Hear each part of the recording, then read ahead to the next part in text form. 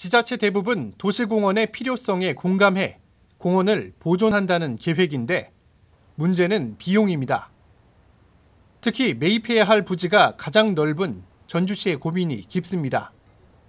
일단은 개발이 추진될 가능성이 높은 지역부터 우선 사들인다는 계획인데 5년 동안 1,450억 원의 예산이 필요합니다.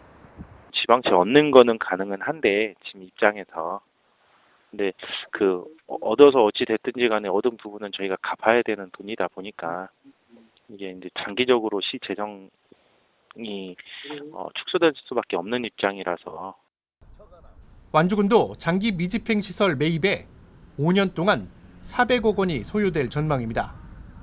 그나마 도로 등 기반 시설 매입이 우선이어서 도시공원을 매입할 수 있을지도 불투명합니다.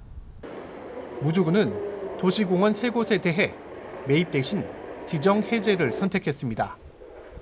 요거 세 개만 남겨놓고 다 저희가 해지시켰거든요. 상대적으로 매입 비용은 적지만 토지주와의 협상에 난항을 겪는 지자체도 있습니다.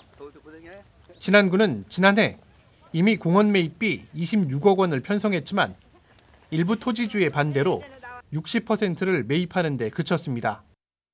이제 올해도 다시 설득을 좀 해보려고 다시 뭐 보내고는 하고 있는데 아직은 이제 매입하신다는 분들이 어, 그 이외에는 없었어요.